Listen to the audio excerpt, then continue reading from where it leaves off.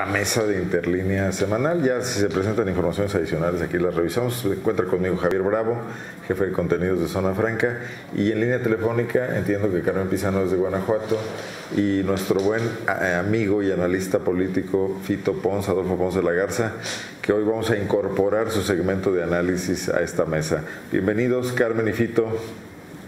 Hola, buenas tardes. Un gusto saludarnos.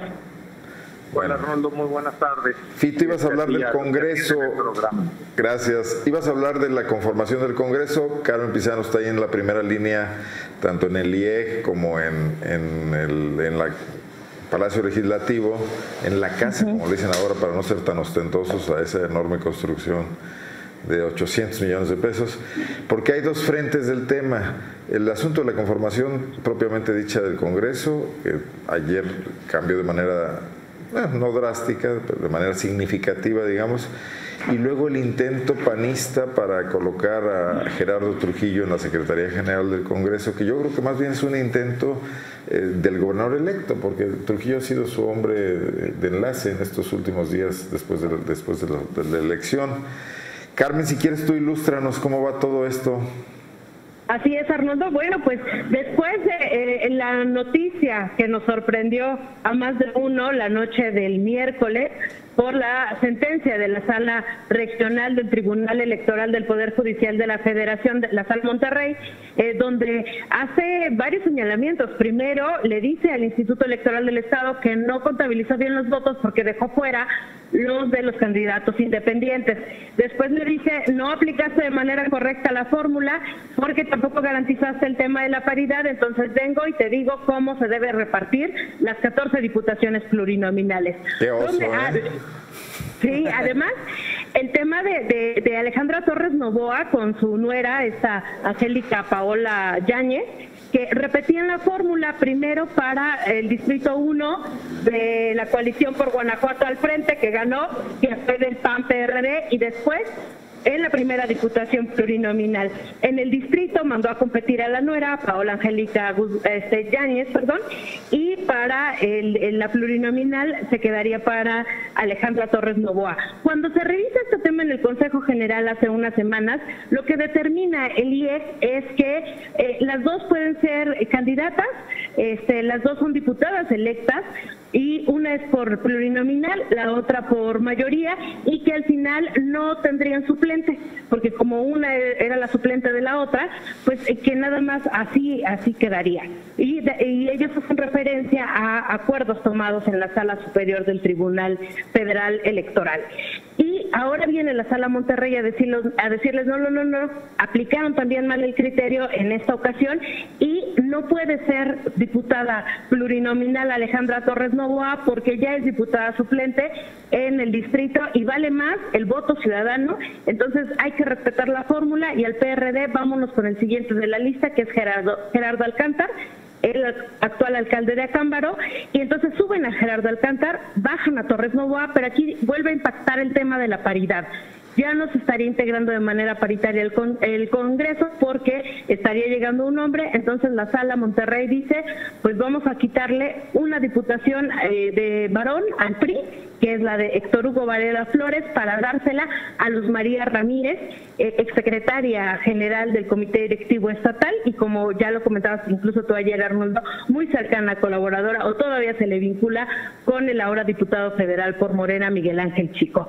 Entonces hace esta reconformación, eh, pues reconformación de, o reconfiguración de la próxima legislatura y el día de ayer pues al Consejo General no le quedó más que entregar las nuevas constancias a los diputados electos. Se, se entregan las constancias a los 14 porque así eh, viene la instrucción de la Sala Monterrey, pero los partidos políticos no se van a quedar así. El PRI ya adelantó que ellos iban a pelear la curul para que sea Hugo Varela el que quede y que el tema de la paridad de género a quien impacte sea el PRD y no quede Gerardo Alcántar. Sino la tercera en la lista plurinominal, que es la hermana de Gerardo Silva, Claudia Silva, Claudia Silva se llama. Entonces, por ahí van a pelear este, el PRI para que el tema de la paridad afecte al PRD y al final el Partido Verde Ecologista de México ya no pudo hacer nada para mantener la curul de Adán Velázquez por el tema de la paridad y se queda Graciela Luna, pero sí van a presentar un recurso ante la sala superior para eh, exponer sobre todo lo que nos comentaba ayer Vanessa Sánchez, es que la certeza jurídica, no, no ha habido certeza jurídica para los diputados plurinominales porque un día tienen eh, la constancia, tienen en su lugar en el Congreso y al día siguiente no. Tan es así que Hugo Varela apenas el miércoles había ido a capacitarse al Congreso local para aprender a usar el voto electrónico y demás, y bueno, pues ahora ya se cambió la jugada. Hay que esperar entre sábado y domingo la resolución de la Sala Superior puede ser que, que confirme lo que ya este, eh, estableció la Sala Monterrey o puede ser que se modifique y que nuevamente tenga que hacer una se tenga que, se tenga que hacer ajustes en la repartición de las diputaciones plurinominales. Pero es raro, ¿no, Carmen? Es raro que la Sala Superior eh, le enmiende la plana a Monterrey, digo que yo recuerde, más bien lo valida. Exactamente, sí. Tiene razón, esperemos. Bueno, Fito y Javier, no sé quién quiera tomar la palabra primero consecuencias y, análisis de esto que está pasando. Yo quisiera nada más aportar algo que, tiene que ver con, el papel que juega en este caso el Instituto Estatal Electoral de, Guanajuato. Eh, Carmen no me va a dejar mentir, hay un capítulo importante, interesante sobre este tema de cómo fueron, cómo se armó el proceso este, para eh, armar la equidad o garantizar la equidad en los partidos. Este, recordarás, Carmen, aquel capítulo este, donde el Consejo General se armó un debate intenso, un, debate importante sobre los tiempos y sobre aquella consideración que estaban realizando para que los partidos pudieran acomodar la paridad en los ayuntamientos, en listas plurinominales, pero sobre todo en los ayuntamientos. Este, y este debate sobre, bueno, los tiempos están marcados, ya ellos estaban este, prácticamente avisados de cómo se tenían que inscribir sus planillas. Eh, ese capítulo me parece interesante porque desde ahí empieza el instituto a ceder de alguna manera el tiempo, los espacios para que los partidos pudieran reprocesar primero sus listas de equidad, segundo sus este, alianzas políticas, alianzas que les competen solamente a ellos. Pero el Instituto Estatal Electoral eh, tomó desde ahí, me parece a mí, un papel muy permisivo, que al final, bueno, permitió que estas listas comenzaran a manosearse a, nivel interno en los partidos, pudieran calcularse escenarios, se pudieran este, asignar familiares, como lo hemos visto en ayuntamientos, en listas plurinominales, abusando precisamente de la permisibilidad que tenía todo este procedimiento. Evidentemente no estoy con esto diciendo que eso provocó lo que hoy estamos viviendo, pero me parece que pone también, este, exhibe a un instituto que no terminó por convencer en la rectitud y en, digamos, el, apego estricto a los, al, carácter de estas reformas electorales, que tienen evidentemente que ver con cómo se construyen las listas, cómo se asignan estos lugares, este, todo este tipo de escenarios, creo que ellos al cederlo hacia los partidos, de alguna, de alguna manera provocan que se hagan estos, este, estas reconfiguraciones. Yo nada más quisiera hacer esa reflexión, creo que son retos que tiene el instituto para poder analizarse, para poderse este, procesar con mayor este, apego precisamente a la ley y al espíritu de la ley, porque entendemos que la ley a lo mejor no puede ser muy específica, pero si se atiende al espíritu, de, las reglamentaciones, pues creo que se toman definiciones como las que está tomando el Tribunal este, Superior de la Federación, que en este caso pues ellos se van precisamente por ese espíritu, ¿no? De cómo se construyen las listas y cómo debe estar conformado el Congreso de Guanajuato. Creo que eso este, hubiera sido mucho más sano que se reflexionara y se definiera desde casa. Fito, el análisis político respecto a este tema, ¿con qué legislatura nos vamos a quedar? Mira, muy buenas tardes, Arnoldo. ¿Qué opinas? La primera, sabemos todavía que esto no va a ser la legislatura definitiva. Ya llevamos dos legislaturas, ya están cambiando, eh, hay cinco impugnaciones en el mejor de los casos de derivados de la resolución de la Sala de Monterrey y definitivamente una de ellas va a pegar. ¿Por qué? Porque son, seguimos hablando de criterios de una aplicación de la ley en relación a deseos de los partidos. Este, donde una de esas cinco o de las cuatro que tengan razón o peguen, como vulgarmente podemos eh, llamarle, va a alterar radicalmente, de nueva cuenta, este, la conformación de la legislatura. Yo todavía no lo veo esto terminado. Y algo que va a tocar no tanto es quiénes van a ser diputados, sino el nombramiento del secretario del Congreso, que ese va a ser otro tema. Y es otro tema, como es este el caso de la imposición del Lalo Trujillo. Va a ser un costo político al interior del PAN muy alto. Si Diego Sinoe quiere mantener a Lalo Trujillo dentro de la Secretaría, le va a costar caro. Y si las fuerzas dentro del interior del PAN pretenden acatarse a Lalo Trujillo, van a tener que pagar también un costo alto y que se está impactando en base a decisiones de intereses de nivel nacional. Entonces la pregunta es, Lalo, ¿va a tener los suficientes resortes de apoyo como para que llegue al Congreso? Y en consecuencia, si llega golpeado como va a llegar, va a tener el control político suficiente de la bancada del PAN para poder controlar lo que vaya a conformarse, eh, lo va a determinar la sala Monterrey a más tardar el domingo o el lunes en la mañana, ahí es donde debemos de empezar a, preguntarnos y se tiene que preguntar este, básicamente Diego y qué es lo que pretende lograr dentro del Congreso.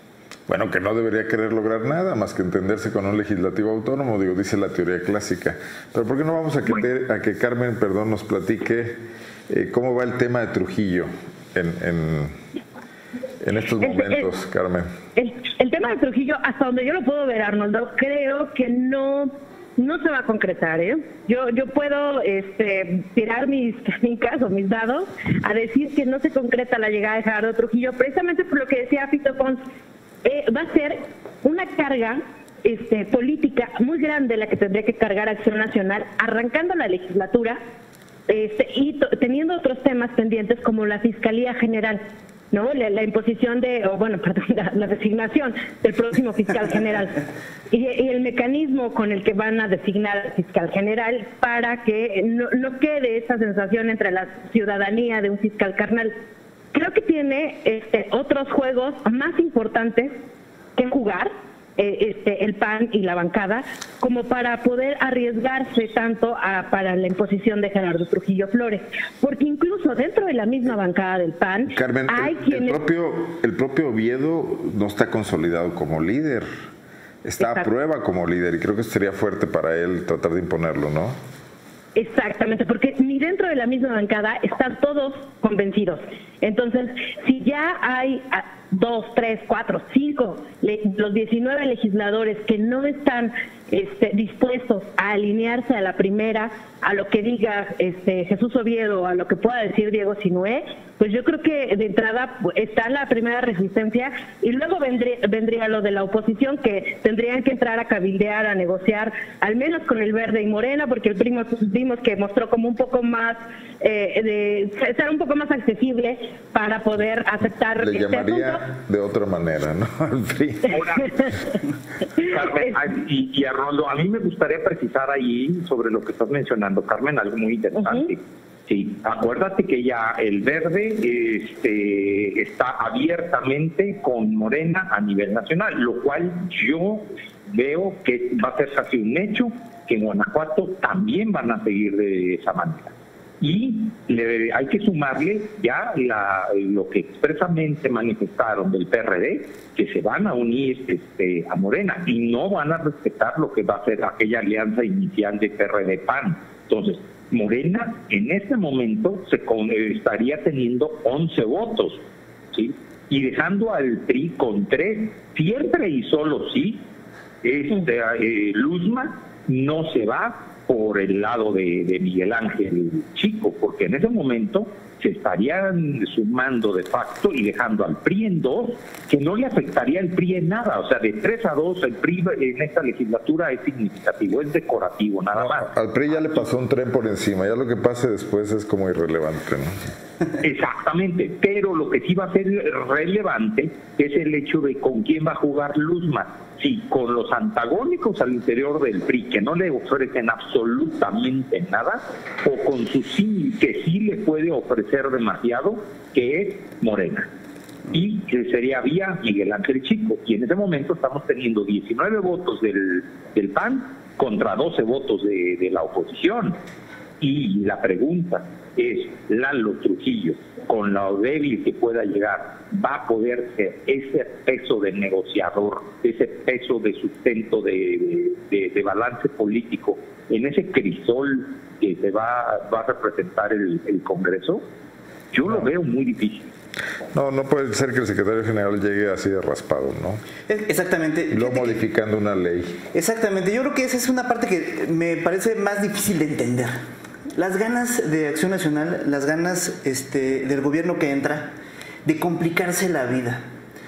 O de querer hacer su santa voluntad. De querer hacerlo a rajatabla cuando realmente, vamos, durante toda esta temporada de dominio panista en, en Guanajuato, en todo este tiempo, desde 1991 si ustedes quieren, desde que el PAN tiene un cierto dominio del poder público y que evidentemente esto lo representa en el, Congreso, eh, el tema siempre ha sido elegir a un secretario general más o menos conciliador, sí de extracción panista, pero que tenga oficio, no, que no tenga ningún problema para ser este, en su momento ratificado, para que sea aprobado por todas las fuerzas políticas, independientemente si se tiene una oposición light, más o menos aguerrida, si se tiene una, un dominio pleno de los votos o no se busca finalmente que sea alguien, sí de acción nacional, pero que tenga un oficio.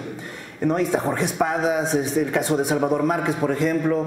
Este, vamos, ha habido diversos, buenos, malos y de todos sabores, pero tienen esa cierta... Eh, e, esa, Arturo Navarro. Arturo Navarro también. No, hasta Cristian Cruz no fue complicado ponerlo. Hizo, hizo torpezas ya estando en el cargo, pero no fue complicado ponerlo. Sí, sí, fue complicado su, su, su gestión, es así, fue muy complicada. Madura, ¿no? Este, sí, llena en muchos momentos de incluso hasta de ocurrencias, pero lo que tiene que ver es el proceso de asignación realmente no, no había mayor problema para, para, hacer, para surcar ese proceso. Pero además, en el caso de Cristian Cruz, tenía un eh, coordinador de mayoría pues muy echado para adelante, como actor Jaime, muy, muy, muy fuerte en sus decisiones, ¿no? un protagonista. Enérgico, finalmente. Eh, yo veo a un Oviedo más replegado, más reflexivo, más, más no es un hombre que le gusten mucho los reflectores, entonces su secretario general no puede ser alguien como Lalo Trujillo, que es un expresidente del partido, como que le va a ir a suplir deficiencias.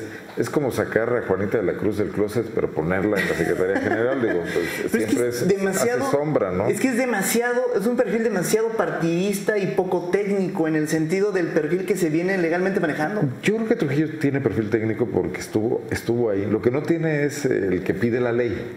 Pues, pero fue, sí, fue coordinador, por ahí coordinador de asesores mucho tiempo, trabajó mucho en el Congreso, conoce muy bien las cuestiones jurídicas pero no sé a quién se le ocurrió poner ese candado de, la, de, la, profesión vinculada a ámbitos de leyes o legales, jurídicos, ¿no? Básicamente. Y ahora se convierte en un, en un, terrible obstáculo. Y ir a una sesión a mover esa ley para dedicarse a la Trujillo es lo que puede ser terrible. Es un desafío no No sé qué opinen, Carmen.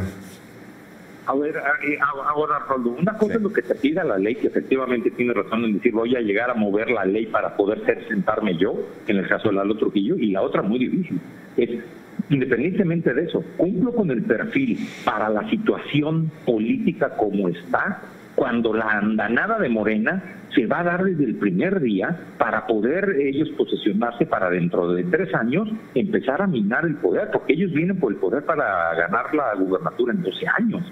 Entonces, Lalo Trujillo va a tener el talante y en ese momento los soportes, los resortes de, sustento necesarios para poder aguantar lo que viene, es decir, constancia en cómo va a estar. Olvídate de si cumple o hay que mover la ley, esa como quiera, tienen mayoría para hacerla. Pero ¿cómo se ve? El costo político lo pueden pagar. No, no, bueno, pero tiene costos, tiene costos.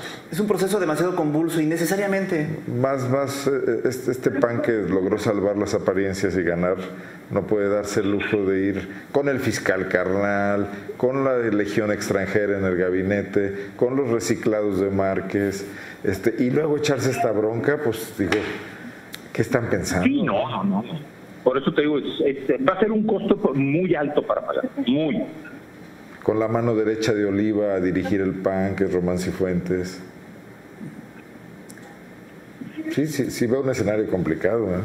Yo creo que Carmen nos podría ayudar incluso hasta dimensionar el secretario general, Carmen. ¿Tú cómo eh, ves finalmente de manera eh, técnica, política? ¿Cuál es, Digo, es, es, un papel este, que requiere, independientemente de su procedencia, requiere evidentemente una neutralidad, un trabajo muy efectivo, pero también este, técnico, ¿no? digamos, no es alguien que se dedique a cabildear como, como se han dedicado a hacer varios de los secretarios anteriores, pero este, eh, realmente pues se requiere una pulcritud en su elección, digo, más que nada que, que no es elegido por panzazo, ¿no? Así es, sí, mira, Javier, yo lo que lo que creo es que Gerardo Trujillo pudiera tener el perfil para eh, ocupar la Secretaría General, porque como lo comenta Arnoldo, sí tiene experiencia en materia legislativa, eh, también también lo creo yo con la capacidad. Cuando yo empecé a cubrir la fuente del Congreso, él estaba como presidente de la Junta de Gobierno y Coordinación Política, cuando fue diputado local, y a mí me parece una persona que puede llegar a los consensos este, y, que, y, que, pudiera que pudiera eh, hacer un, papel este posiblemente rescatable dentro de la Secretaría General.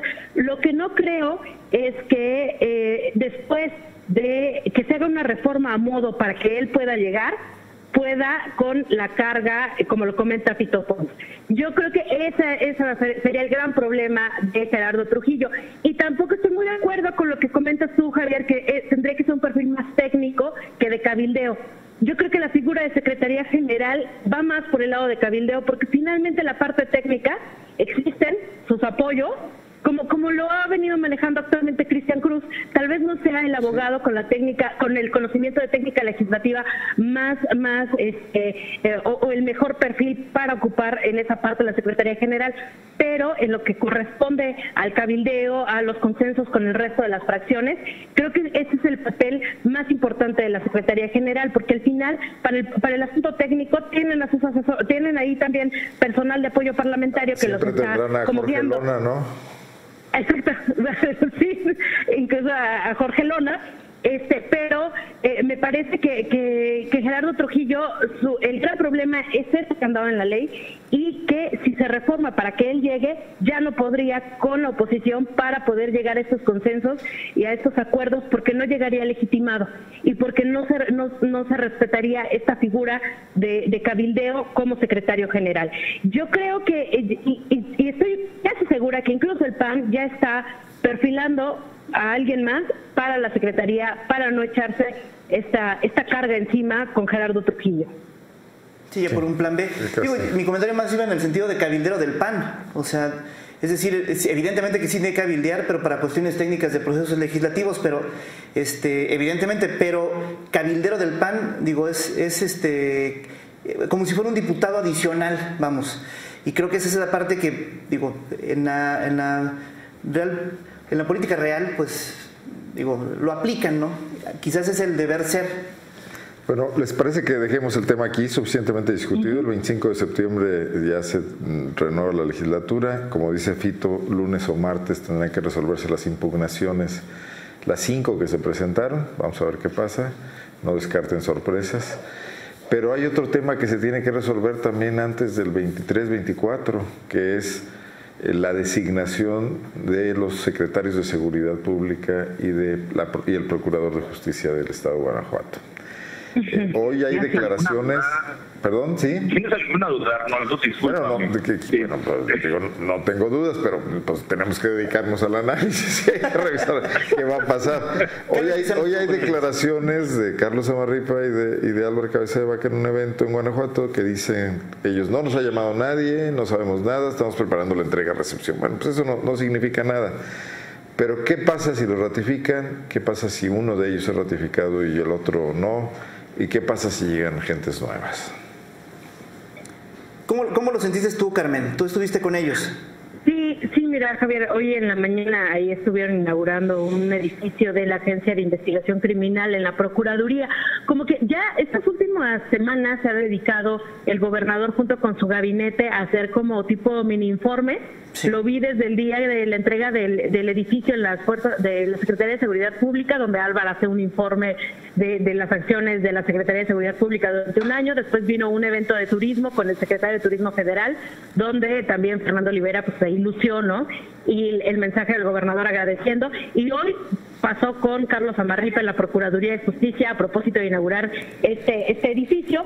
Y este primero, interesante que cuando se va a recorrer el, nuevo edificio, que va a ser eh, como la casa de, las, de los policías ministeriales que están en preparación, ya hay, hay habitaciones, eh, en fin, es, es un complejo bastante eh, importante dentro de la Procuraduría. No se nos permitió el acceso a la prensa. De entrada, pues nos, nos causó eh, eh, extrañeza porque nos decían, es que no hay espacio. Pues, ¿cómo no hay espacio en todo este edificio para que podamos entrar?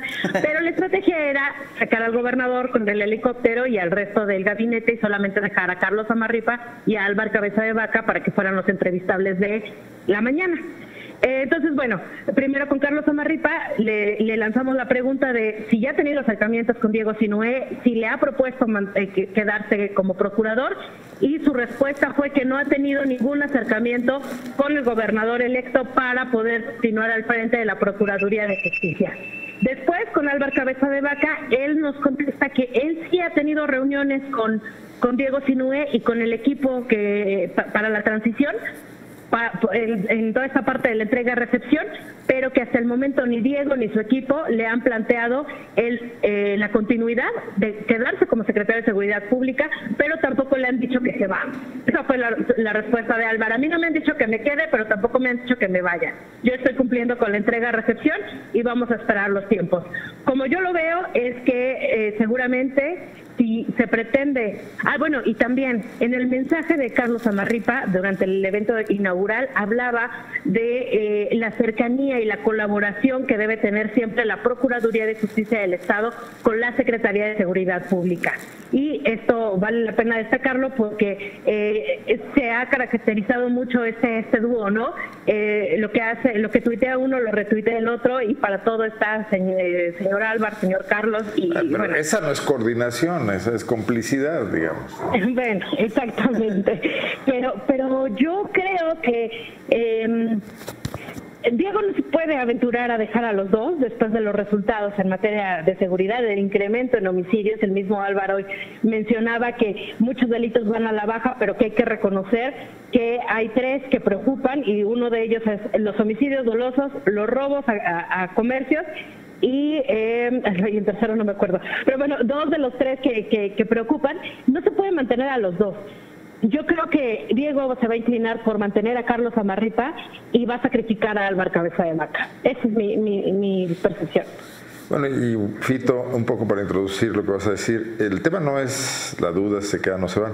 El tema es cómo renovamos poderes, un candidato va en búsqueda del voto, se realiza una contienda interna complicada en los partidos, particularmente en el PAN que gobierna. Cuesta mucho trabajo llegar a ser gobernador de Guanajuato, cuesta trabajo renovar los poderes, cuesta trabajo eh, darle este sesgo de esperanza que contiene la democracia para que se vean caras nuevas y se refresque las instituciones.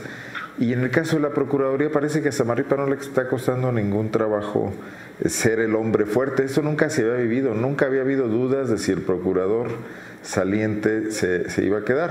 Bueno, y fíjate lo que te digo, porque Samarripa ya pasó esa aduana hace seis años, tenía tres recién llegados al cargo. Luego, no solo, no solo se quedó en el gobierno de Márquez, sino que colocó al secretario de Seguridad, porque es indudable que él fue el que sugirió, arrimó, presentó, defendió a Álvaro Cabeza de Vaca como secretario de Seguridad. Y hoy, seis años después y nueve años después de que él ocupara el cargo, parece que estás removiendo una montaña. O sea, eh, aquí se quiebra todo el espíritu de la democracia. O sea, lo más complicado es cambiar a Carlos Amarripa, que llegue alguien nuevo. Eso niega toda la esencia de, la, de, la, renovación de las instituciones, de que los hombres son pasajeros y las instituciones se quedan. Aquí estamos frente a un verdadero hombre fuerte, algo que nunca habíamos visto en Guanajuato con esta con claridad, ¿no? Estamos construyendo a un verdadero tirano que está incluso por encima del gobernador electo, que le impone su continuidad. Eso es lo que me parece muy preocupante, es algo que no se está debatiendo en la sociedad de Guanajuato en este momento. Eh, mira, Ronaldo, este, lo que cuesta trabajo ¿sí? es el tomar el poder. Lo que cuesta trabajo es el que quien debe de ejercer el poder lo ejerza. Acuérdate que bien dicta el clásico, el poder no se pierde. Si tú no lo ejerces, otro lo va a ejercer. Y aquí en este momento nos damos cuenta que le costó, ya le costó trabajo a Diego Sinoé ejercer el poder. Las decisiones del poder son así y deben de ser así, no con miramientos. Donde más le convenga al nuevo gobernador, donde más le convenga en la situación en base a las circunstancias actuales del Estado. Bien lo dice Carmen, dice, es que eh, si hacemos números, a lo mejor queda uno. Bueno, si hacemos números, no debe de estar ninguno de los dos, ¿sí? Porque vemos cómo ha ido al alza. Las justificaciones son otras, pero el, por números, ninguno de los dos debe de continuar.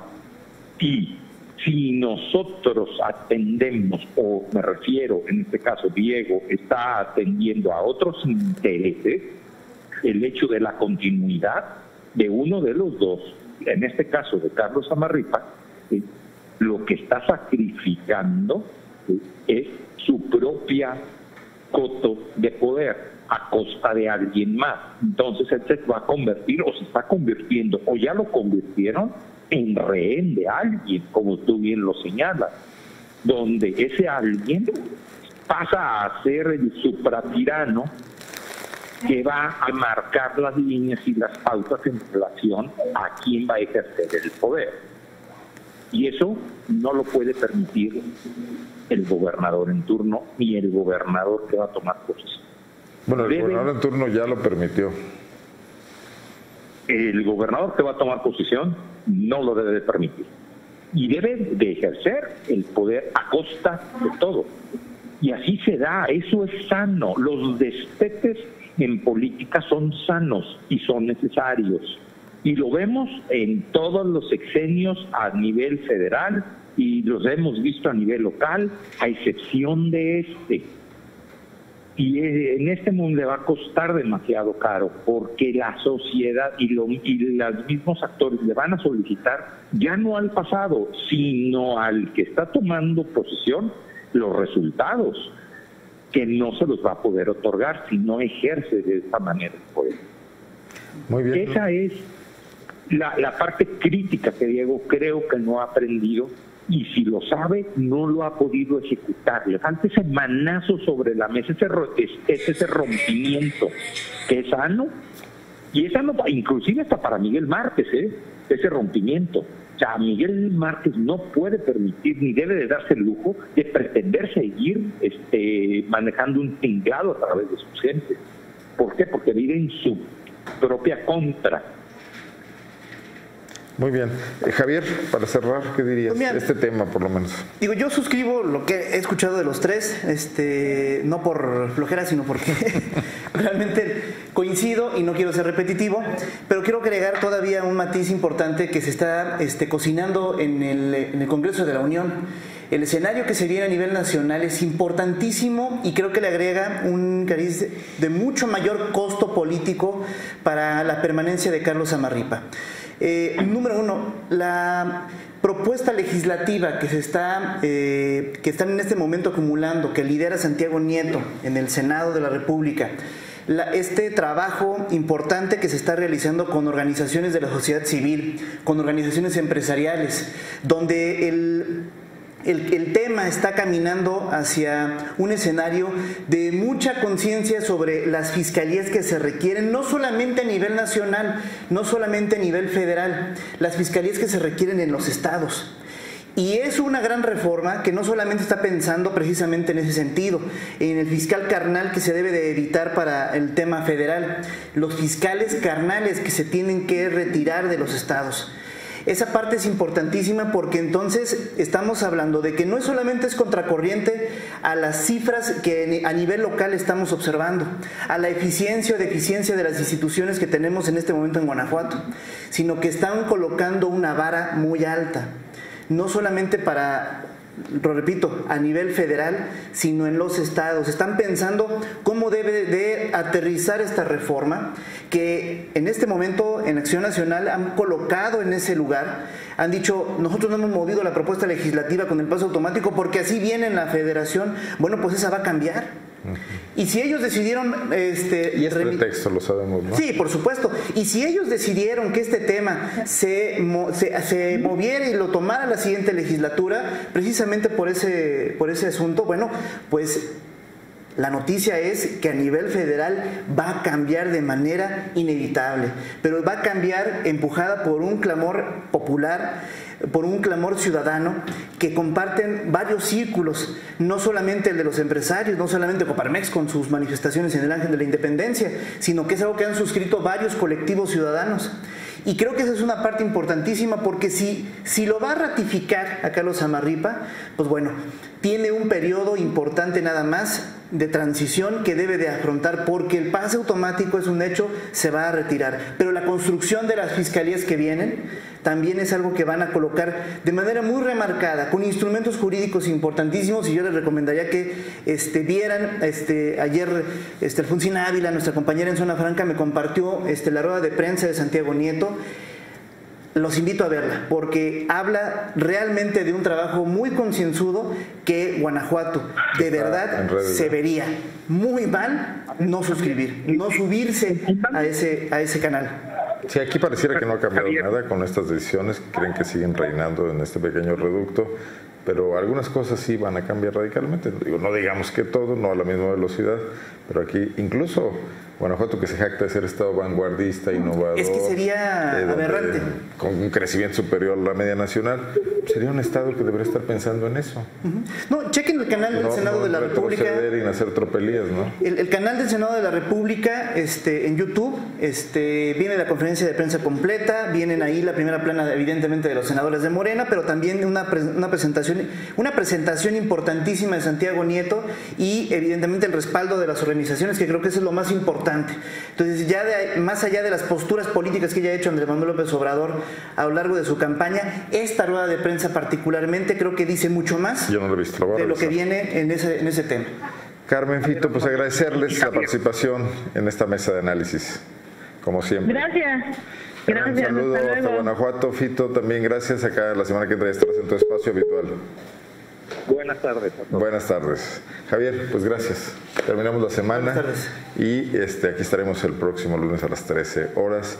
Eh, semana súper importante, la que sigue, se resolverán los temas de las impugnaciones de los eh, inconformes con las decisiones del Tribunal, de la Sala Monterrey del Tribunal Federal Electoral. Tomarán posesión ya estos diputados una vez que, que quede claro quiénes van a conformar sobre todo la parte de los plurinominales y tomará posesión el gobernador el 26 de septiembre, un evento primero, el formal en el Congreso del Estado en la mañana, por la tarde, digamos, la ceremonia más, más partidista, ¿no? donde le toma la protesta al gabinete y también dice otro discurso. Eh, ahí ya sabremos quiénes son el procurador y el secretario de seguridad, este misterio que se ha mantenido hasta el final.